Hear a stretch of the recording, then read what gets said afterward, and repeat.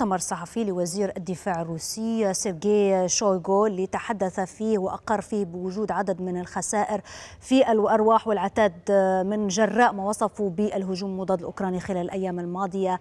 بلغ إلى مقتل 71 جنديا روسيا و15 دبابة بالإضافة إلى عدد من المدرعات والأسلحة الأخرى. لكن شويغو أشار إلى أن الخسائر في الجانب الأوكراني أكبر بكثير وأن القوات الروسية ألحقت خسائر جسيمة بالجانب الأوكراني وأن هذه الهجومات خلال الفترة الماضية كان مآلها الفشل. تحدث أيضا عن التفجير تفجير السد اليوم واتهم الجانب الأوكراني صراحة وقال أنه هذا عمل ليس تخريبي فقط ولكن إرهابي. عموما سأتوقف أكثر عند هذه التصريحات وهذه الاتهامات.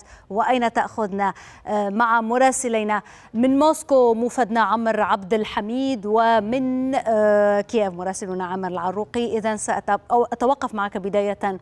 عمر عند آخر تصريحات من شايغا كما تابعناها وتحدث أيضا عن أنه هذا العمل تخريبي متعمد من الجانب الأوكراني ولعل أبرز ما دلل عليه هو الدفاعات اللي باشر الجانب الأوكراني ببنائها على الضفة اليمنى لنهر دنيبرا ماذا في التفاصيل ماذا في المتابعة عمر؟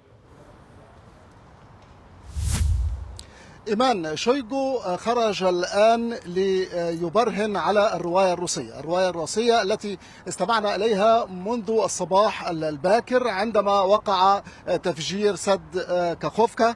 الرواية التي تقول بأن الجانب الأوكراني قام بهذا العمل الإرهابي حسب وصف شويغو للتغطية على فشله في الهجوم واسع النطاق الذي شنته القوات الأوكرانية على مدى الأيام الثلاثة الماضية. شويغو يريد أن يقدم البرهان على ضلوع أوكرانيا من وجهة نظره على القيام بهذا العمل قال بأن الثلاثة أيام الماضية لم تحقق القوات الأوكرانية في هجومها على كافة المحاور التي اتجهت إليها. لم تحقق أي نجاح بل منيت بخسائر فادحة في الأرواح 3715 جنديا. وفي المعدات سواء كانت طائرات أو دبابات بعضها دبابات أجنبية غربية من طراز ليوبارد وغيرها من معدات عسكرية. وأليات ثقيلة.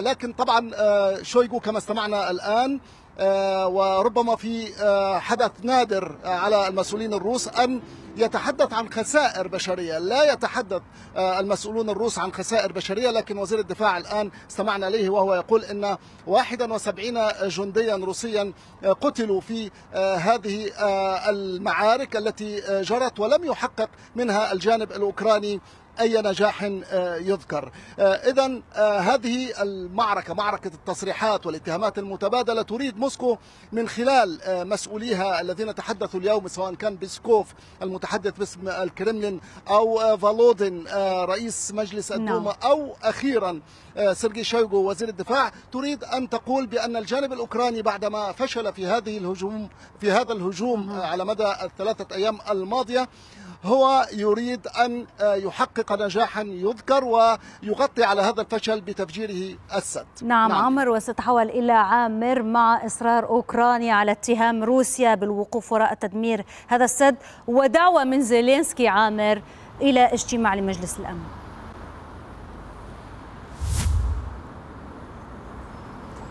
نعم إيمان أوكرانيا وصفت تفجير هذا السد بكارثة بيئية كبيرة حدثت في أوروبا وكذلك أيضا دعت إلى اتخاذ قرارات صارمة والدعوة إلى انعقاد جلسة في مجلس الأمن جلسة طائرة لمباحثة تداعيات هذا التفجير. وكانت أيضا آخر التصريحات صادرة عن مدير مكتب الرئيس الأوكراني أندري يارماك وقال بأن تداعيات تفجير هذا السد أدى إلى تضرر 80 قرية وإخلاء ما يقارب من 16 ألف شخص من محيط هذه المدينة وتعطيل نظام الري الزراعي في المناطق الجنوبية بشكل كامل. وأيضا تعطيل نظام التوازن في محطة الطاقة النووية التي تعتمد على التبرير كذلك أيضا كان هنالك على التبريد عفوا كان هنالك أيضا تصريح من قبل المتحدث باسم الاستخبارات العسكرية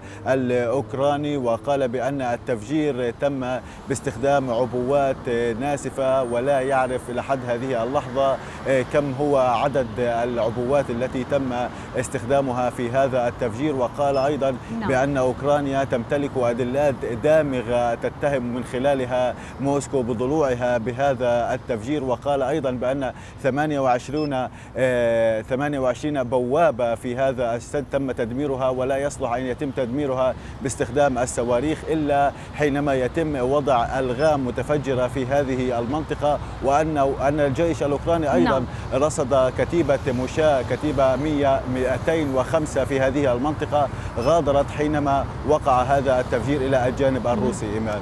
شكرا جزيلا لكما اذا عامر العروقي مراسلنا من كييف وموفدنا من موسكو عمر عبد الحميد. شكرا جزيلا.